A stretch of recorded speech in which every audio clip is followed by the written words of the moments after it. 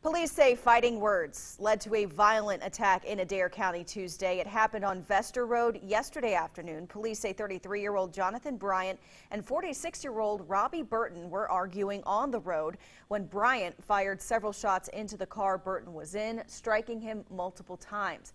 A passenger in the car was not hurt, according to police. Burton was taken to the hospital where he is in stable condition. Bryant faces several charges, including assault and wanton endangerment.